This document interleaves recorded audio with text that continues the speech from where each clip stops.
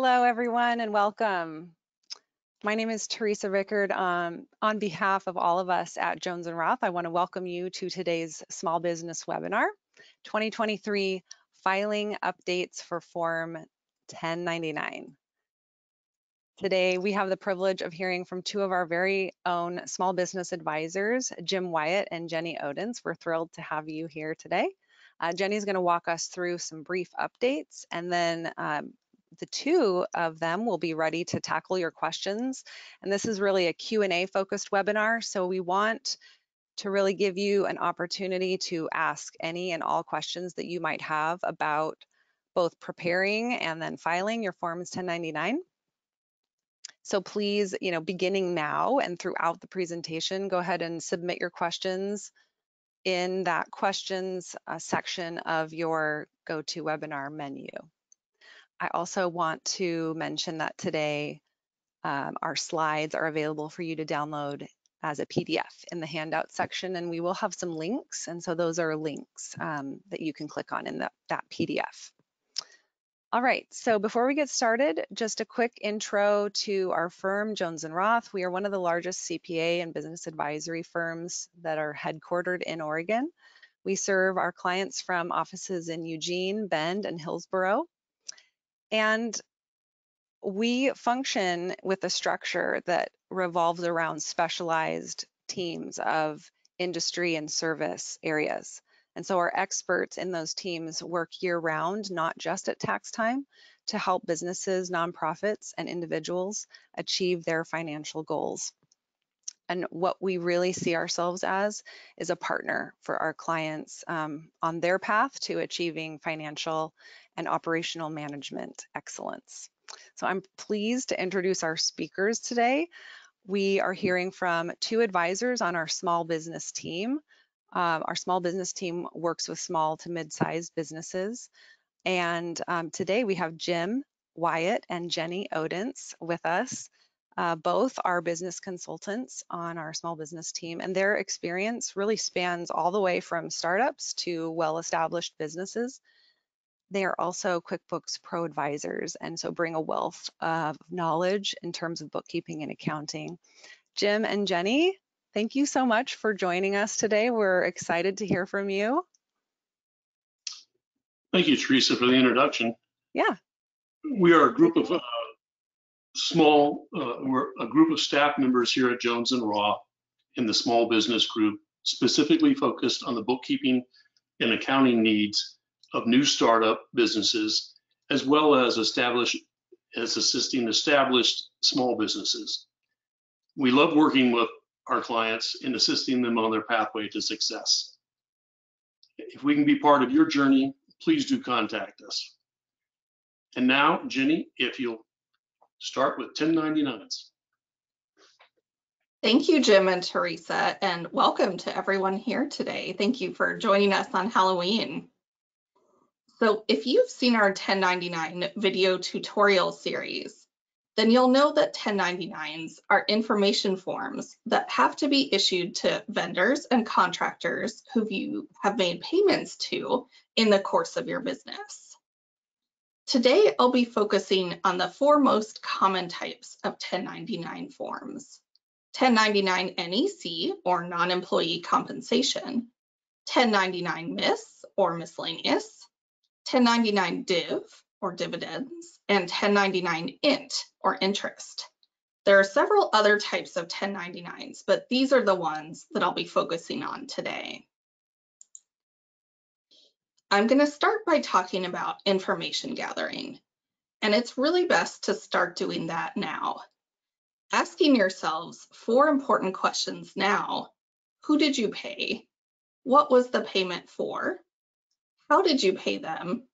and what amount did you pay them is really important because these four questions determine whether you need to issue a 1099 and if you do need to do so, what kind of 1099 is required. To answer the question, who did you pay?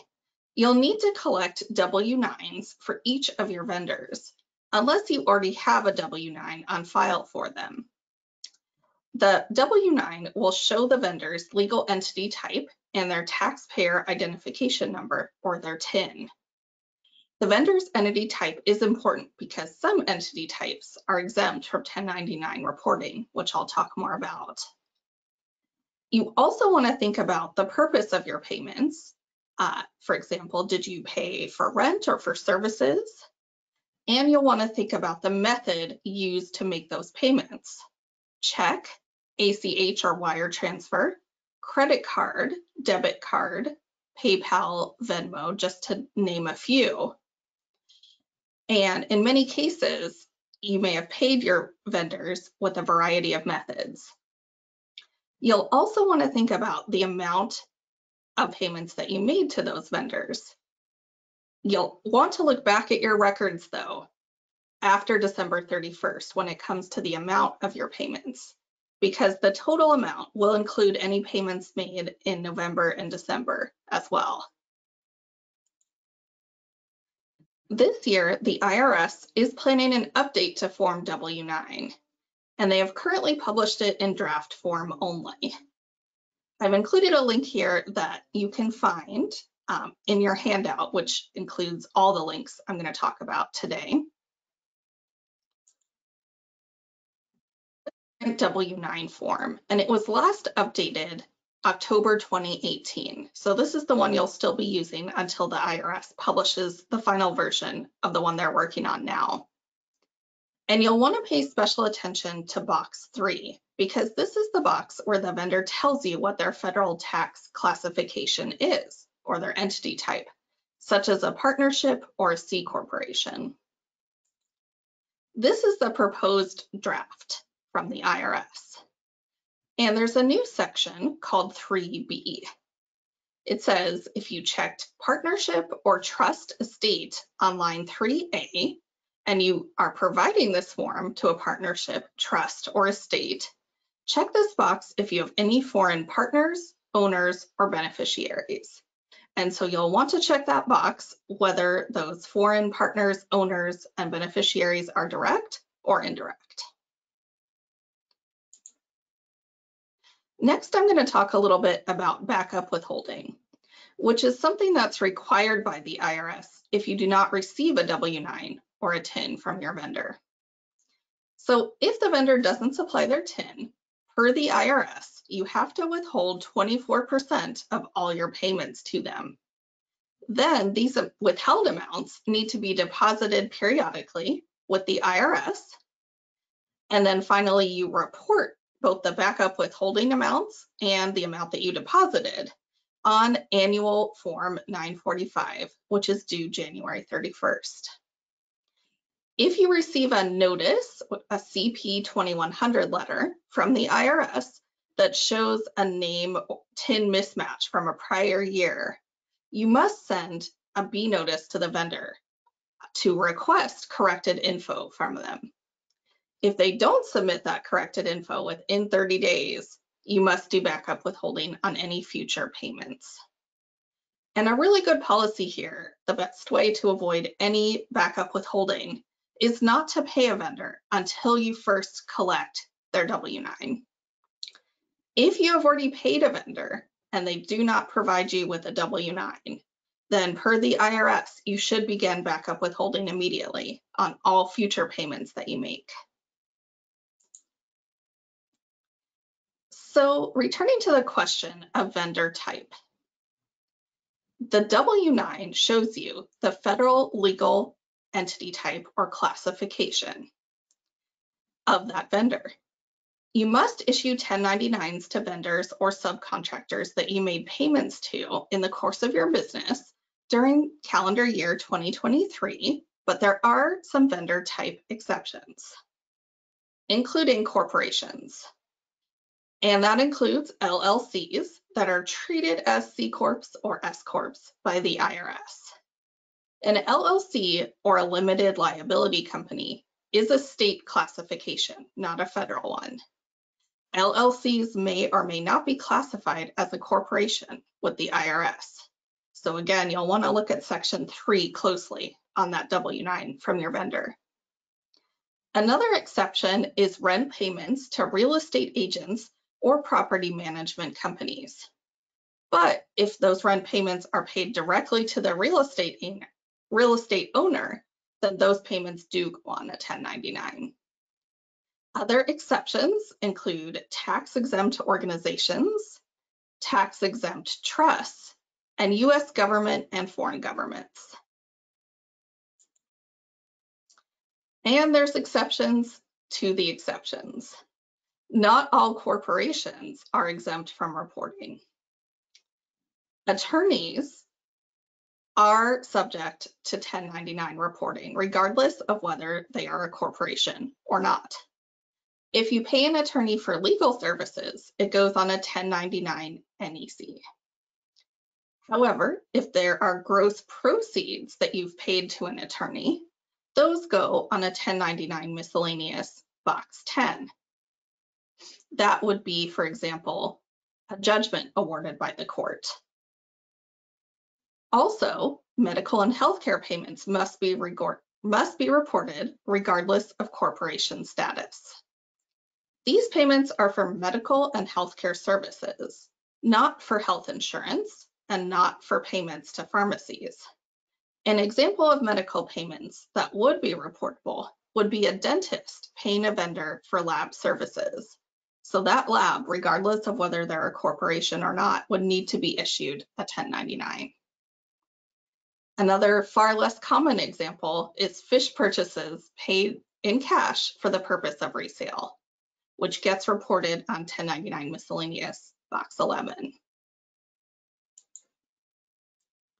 The next thing to consider is payment methods, because this also will help you determine whether or not you need to issue a 1099. Payments made via cash, checks, ACH, and wire transfers are reported on 1099s. Payments made via electronic third parties are not reported on 1099s. This would include debit cards, credit cards, PayPal, and gift cards. Instead, those electronic payments are reported by the merchant, for example, the credit card company, via a 1099-K, and you do not need to report it. However, some electronic third parties have more complicated scenarios, such as Venmo. So if you make payments via Venmo, if those payments are made to a business account, if that's what your vendor has, a business account, then no 1099 is needed. If your payments are marked or tagged as business transactions, then no 1099 is needed. But if those payments are not tagged or marked as business, and if they're made to a personal account, then a 1099 is required. Also, you may make your payments using Bill.com or Zelle. Bill.com and Zelle are not considered electronic third parties for the purposes of 1099 reporting. So it depends how you've made your payment within those two platforms. If you pay via check within Bill.com or Zelle, a 1099 is required. If you pay via ACH transfer within Bill.com or Zelle, same thing, a 1099 is required. But if you pay via credit card or via virtual credit card within Bill.com or Zelle, then a 1099 is not required. The next thing to consider is the purpose of the payments you've made, because this determines the type of 1099 that you'll need to issue. Services and non-employee compensation gets issued on a 1099 NEC. Several categories get issued on a 1099 miscellaneous, including rent, medical payments, and royalties. Interest goes on a 1099 int, and dividends are reported on a 1099 div. For other types of payments, you'll want to look at the IRS instructions. You'll also want to consider the question of goods and services. If you make a payment in order to purchase goods or products only, then you do not need to issue a 1099. But if you make a payment to a vendor for both goods and services, a 1099 is required and includes all goods used by the vendor to perform those services.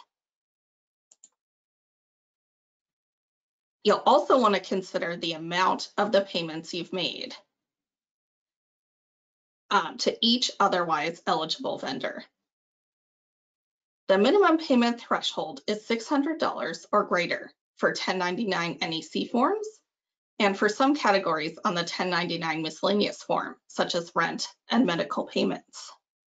This means that if you pay that vendor $500 during the calendar year 2023, you would not need to issue them a 1099. Other types of payments may have different thresholds, such as royalty payments, which have a $10 minimum threshold. You'll want to uh, consult the IRS instructions again for more information. And an important note here is that 1099s cover the payments made in a calendar year, in this case, 2023. 1099s do not cover invoice totals. So in other words, they cover the amounts actually paid, not the amounts owed. Something to work on now is software preparations because that will help you determine which vendors you need to prepare 1099s for. You'll want to mark your vendors as eligible in QuickBooks um, or the software that you're using until you know that they are exempt from 1099 reporting. You'll also want to set up your account mapping, which is a topic we cover in our video tutorials, and we offer a step-by-step -step guide there. You'll also want to review your expenses on your profit and loss report, most likely now and then again after December 31st. And you'll want to make sure that your reports are showing what has actually been paid, not what has been invoiced, meaning that you'll want to set your reports to cash basis. Once you've prepared your 1099s, there are some changes to be aware of in terms of federal filing. This year, meaning tax year 2023, if you're filing more than 10 information forms, you must file them electronically. Before the threshold was 250, so it is a major change coming from the IRS. And note here that information forms include W-2s for your employees as well as 1099s. So for example, if you have eight employees and you need to issue only three 1099s, you now have to file all of them electronically. If you have 10 or fewer forms and you still want to file via paper, you need to purchase specially formatted blank forms and not just the 1099s, but also Form 1096, which acts as cover page for the IRS. Uh, and the reason you'll need to go out and purchase official versions is that they use red ink that is not standard printing red ink. And I've included a link, which again, you'll be able to find on the handout of the slides, um, for ordering directly from the IRS. But also you can find these forms with office supply companies. If you go ahead and e-file your 1099s, you're gonna have two options this coming year. IRIS is a new platform, stands for Information Returns Intake System, and it will accept forms from the year 2022 and later. And a benefit of IRIS is that you can download and print recipient copies of 1099s to provide to your vendor. The IRS has said that in general, it's going to be a much more user-friendly platform. But FIRE will still exist, and that stands for Filing Information Returns Electronically. If that's what you've used in the past, you can continue to use it this year. Either system requires something called a TCC, or a transmitter control code. And instructions for obtaining one can be found on this website, the IRS filing one here at the end of the slide. It, um, it may take up to 45 days to obtain. So if you don't have one yet, you'll want to put in that application now.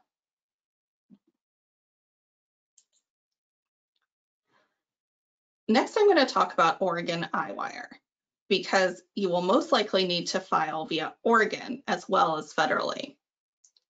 Oregon still does not have a reciprocal agreement with the IRS, which means that Oregon does not accept information provided by the IRS. The majority of states have entered into an agreement with the IRS where the IRS sends them their 1099 data. But Oregon is one of a handful of states that does not accept data coming from the IRS. Instead, they require you to file via their own platform, Oregon iWire, all 1099s with either the payer or recipient having an Oregon address. And uh, one thing to note here is that only 1099 NEC and 1099 miscellaneous forms need to be filed via iWire. 1099 interest and 1099 dividend forms do not need to be filed via iWire. I've included a link here to their main page. They offer instructions and a downloadable spreadsheet under the resources section, which you can use um, to fill in your information and then simply upload to them. Oregon does not accept paper filing of 1099s, no matter how many you have. One last thing to note is that QuickBooks Online does not offer Oregon filing of 1099s. They do offer federal filing depending on your subscription type, but not state filing. And here's the upcoming deadlines to be aware of for 1099 year 2023. So January 31st is the first major deadline. 1099 NEC, IRS e-filing and paper filing deadline. It's also the deadline for Oregon iWire e-filing of 1099 NEC and for recipient copy mailing for both 1099 NEC and 1099 miscellaneous. For paper filing deadlines, forms must be addressed, postmarked, and mailed, but not necessarily received by that date. And you'll want to note here that a Pitney Bowes postage meter or other postage meter uh, date stamp is not an official postmark date. And in Eugene, it's our understanding that unless you take your forms to the Springfield Post Office by Gateway Mall, those forms may not be postmarked until they reach Portland the following day. The last thing that's due January 31st is annual form 945, which is used to report backup withholding and deposits that you've made throughout the year. February 28th is the paper filing IRS deadline for 1099 MIS, 1099 DIV, and 1099 INT.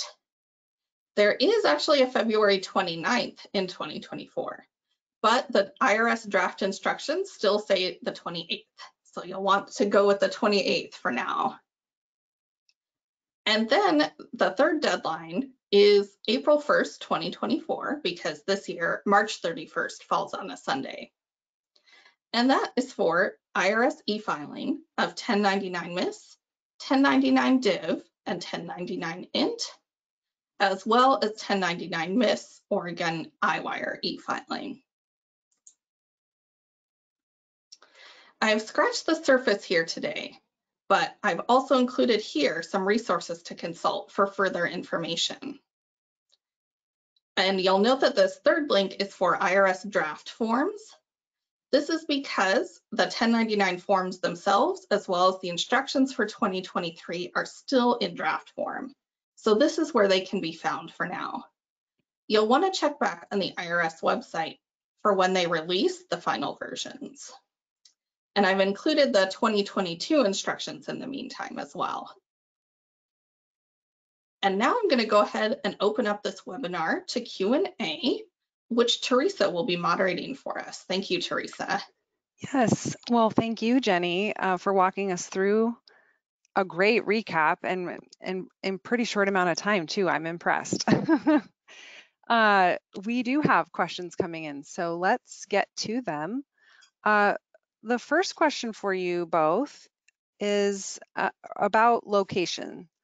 So for services provided by someone who is outside the US. Should a 1099 be sent if the services are performed in the US? And if the services are performed outside the US, how do those get handled differently? Oh, Jim, I think you might be muted. That there can, be go. a, that can be a complicated uh, uh, question depending on the status of the business that's originating overseas, even if you're being provided the services by a United States service provider. Um, I actually think if, if you're interested in um, very clear instructions, you could email me and I'll provide you with those resources it's pretty much outside the scope of this conversation and it is very detailed. Um, my email address, if you'd like to send that question to me, is uh, J Wyatt, W Y A T T, at jrcpa.com. Great. Thank you for that, Jim. Um, how about this question? I own several properties in town. I made payments to my property manager so she could pay a contractor for repairs. Do I have to report those payments on a 1099 to the property manager? I'll take that one, Jim.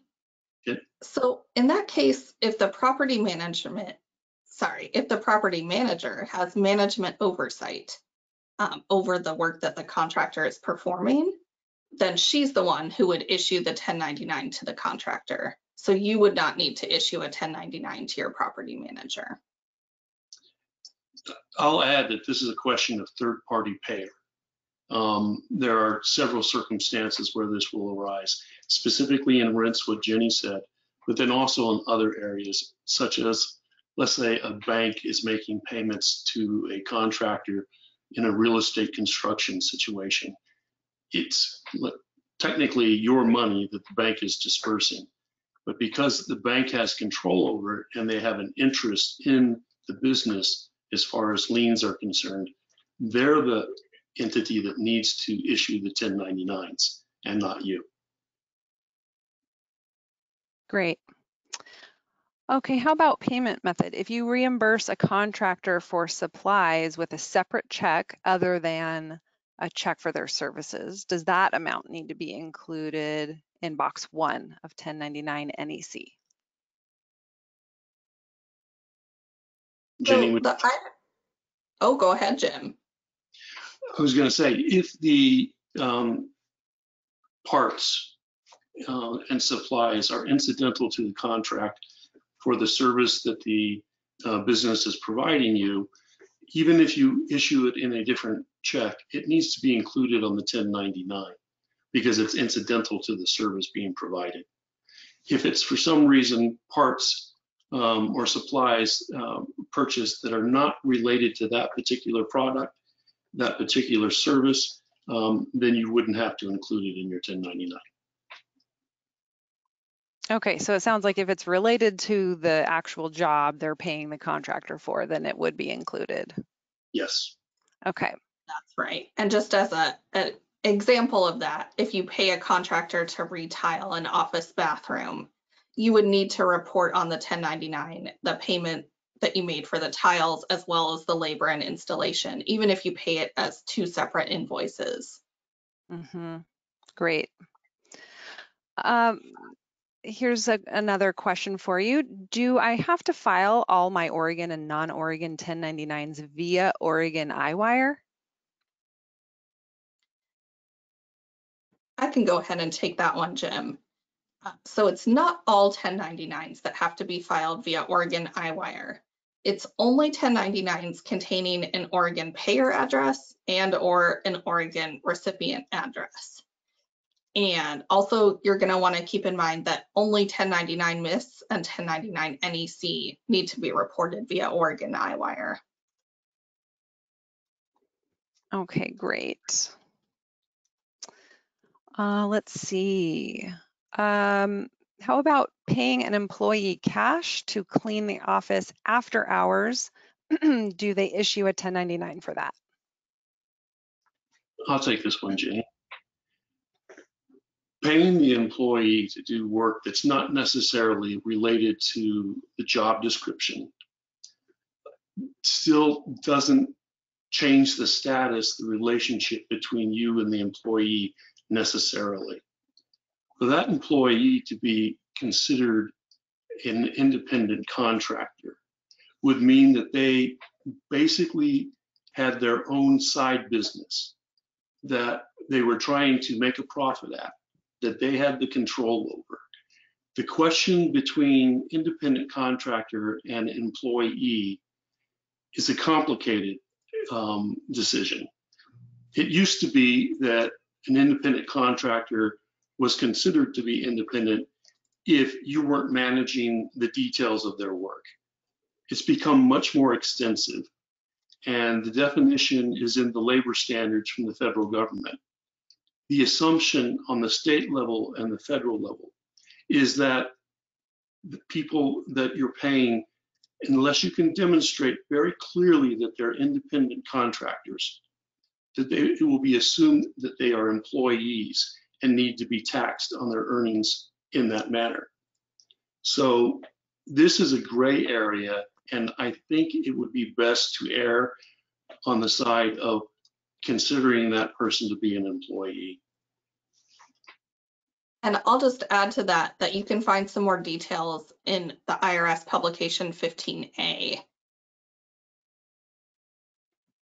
Okay, great.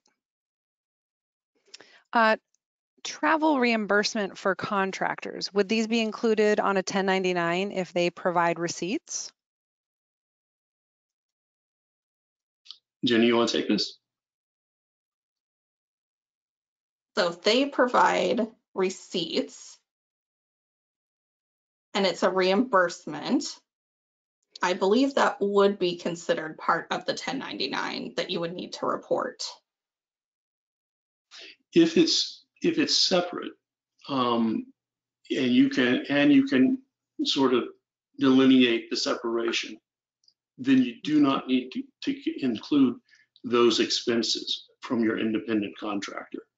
If they are expenses that are um, accountable, uh, and an accountable expense is where you're provided receipts. Um, that uh, it, it, but if not, then you should include it on the 1099. Uh, and I just want to also clarify that this situation, we're talking about an independent contractor. Some people ask if employee um, expenses should be 1099. And the answer is no. If they're your employee, those expenses come under the employment status and they need to be regarded as to whether they'll be placed on the W-2 or not. And that's a whole other area. And again, beyond the scope of this, but an employee's expenses never appear on a 1099.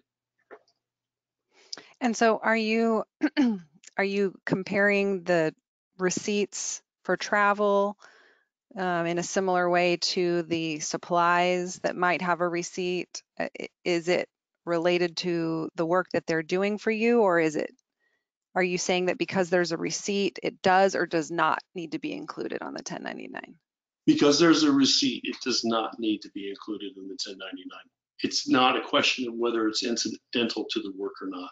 Mm-hmm. can i just follow up with my own question on that for clarification? So uh, it, it back on that example of the supplies, if there's a receipt for the supplies, is that, uh, you handle that in a similar way? No, it, it's treated differently.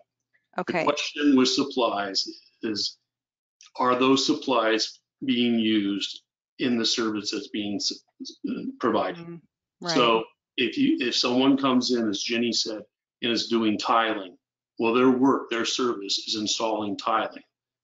And so you need to put on the 1099 the, what you paid them for the, the supplies and the tiles. But the expenses are different. travel expenses are not considered, okay, Exactly. great. Okay, here's a question for you. Um, this person works for a nonprofit. Each month, they give each employee a reimbursement for business use of personal cell phone. Does that have to be reported on the W-2? And if so, what box? Well, that's a W-2 question and we're focused on 1099s. Right. I can tell you though that cell phones, the business use of a cell phone is considered, um, you don't have to prove it up with a bill that shows the calls that you made. Yes, you may reimburse someone for the cell phone use as long as it's reasonable. And it does not need to be reported on a W-2 because you're reimbursing them for an expense. All right. Um, what about paying payroll garnishments to an attorney or creditor? Do these get reported on the 1099? Jenny, would you like to take that or would you like me to take that? Uh, I'll have you take that and then see if I have anything to add to it. Thanks, Jim. This, I think, is a question between the difference between the NEC form and the miscellaneous form and what's called gross proceeds to an attorney. When you're making payments to an attorney and you're not paying them directly for services that they're providing to you, such as writing a contract, reviewing a lease, but you're making a settlement payment, then you would include this on a 1099 miscellaneous because you don't know what's broken out in the garnishment. You know, oftentimes there's an arrangement between a lawyer and the client that they'll they'll get so much uh, a percentage of whatever they recover. You don't know what that that deal is. So you provide on 1099 miscellaneous, I believe box six, you provide the total amount that you've paid that attorney, whether they're a corporation or not. If it's for a service that's particularly, like I said, that attorney is performing services directly related to your business. They're writing up a lease for you. Um, they're reviewing a contract for you. That goes on the 1099 NEC. Um, and that's reported as attorney's fees. This is an area that is very um, confusing sometimes because both forms say attorney's fees, but it's the miscellaneous that is the gross proceeds. It's the NEC where they're directly making a work product for your business. And I'll just add, I believe it's 1099 miscellaneous box 10. That's where those gross proceeds would be reported. Thank you.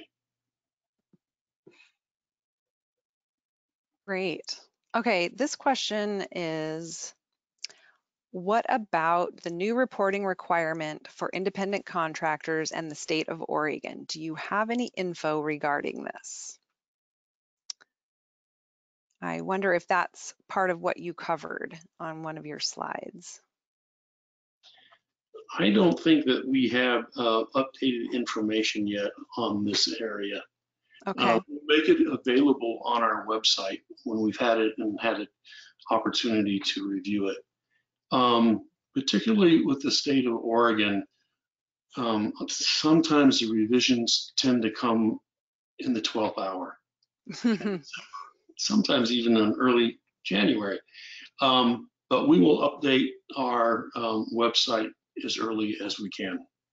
Okay, that sounds good. I do know that whenever we do post a new blog post to our small business um, blog, that that gets emailed out to everyone who is subscribed um, to our to our small business um, category. So um, if you received an invitation to register for this webinar, you would also be getting all of those blog posts. And if you want to subscribe I mean, you're not subscribed, you can go to our website down in the footer and click subscribe. Good. Uh, all right. Um, let's see. Uh, how about is, let's see, I can't get my vendor to send me their W-9. What do I do? So in that situation, the IRS has given some guidance. And per the IRS, you must begin backup withholding of that 24% immediately on all future payments that you make to that vendor. and you report the amount withheld, on both forms, there is an area for you to report withholdings. So let's say that this vendor is a 1099 NEC vendor. In box one, you put the amount that you paid them. And in the withholding box, which I believe is box three, um, you would put the amount that you withheld back. Uh, and then they use that almost like they do a, a W-2 uh, in order to, they can have it refunded in part or whole depending on their tax situation. Um, it is not a comfortable situation to be in, to tell your vendor that you're only going to pay them 76% of what you owe them. So that's why we suggest that with your opening uh, work with them, uh, either your contract or or bid, uh, you make it a requirement that they provide you with a W-9. If you don't do the withholding and the um, recipient doesn't file their taxes properly or owes taxes and can't pay them, you may be liable for the amount that you were supposed to withhold that you did not. So it is putting you at risk. Great. Another reason to just ask for that up front as your standard protocol. and Save Mhm. yourself that time. That's right. And I'll just add that not, not only do you have to report that withholding on the 1099 NEC or the 1099 MIS, um, as Jim was saying, but you also have to report it on that annual Form 945, which the IRS uses to reconcile throughout the year. I think it's a good thing to think of. That W-9 is like a W-4 from an employee. It's sort of telling you their status. And the 1099 is sort of like a W-2 to an employee. It's telling, it's telling the government how much money you gave them. And if you had to withhold, it's informing them just like a W-2 does. Yeah, that makes a lot of sense. Well, um, our final question here is ar- around if 1099s need to be issued for lawn maintenance or computer maintenance services. So computer maintenance services is definitely considered a service. So if they're otherwise eligible, then yes, they would receive a 1099. Um, for lawn care, it can be a bit more complex. Um, only business payments are subject to 1099 reporting. So if it's your personal lawn at your home address, you would not need to issue a 1099. The complicated part is something we've discussed before. Um, Jim was mentioning, you know, if that person could be considered an employee, then you may need to issue them a W-2. Um, so again, you'll want to think about, are they an independent contractor or are they an employee? There are in um, the employee relationship, um, household uh, domestic employees, where you're not a business, you're the owner of your home and you're hiring a nanny, uh, you're hiring a housekeeper, or you're hiring a gardener. In certain um, instances, they can become your employee. Um, but that's all within the purview of W-2s and employment law. And there is a publication with the IRS that deals specifically with household employees. And I would recommend that if you have household employees, um, that you um, just bring that up on the web and, and read it. It's uh, fairly straightforward on the first page or two whether you are going to be liable for issuing them a W a W-2. Awesome. Well, thank you both so much. We got through a lot of questions. Um, and I really appreciate you sharing your expertise with us today and taking the time uh, with us. I know that, uh, like you offered earlier, Jim, if, if anyone did have a follow-up question on our uh, small business page on our website, you can contact us. You can um, send a- an email to me at info at jrcpa.com and I'll get it to the small business team. Um, and we also have a couple of webinars coming up shortly that I want to make sure everyone knows about. On November 30th, we'll be talking about financial planning and tax planning from uh, a business owner's perspective. And then on December 5th, we'll have uh, the team from Lane County um, talking about personal property tax for businesses. So keep an eye out for those. Um, and we also post our recordings to our website. Um, if you register for a webinar, you automatically get an email with the recording as well. So Jim and Jenny, I just want to thank you again. Um, and a big thanks to everyone who joined us today.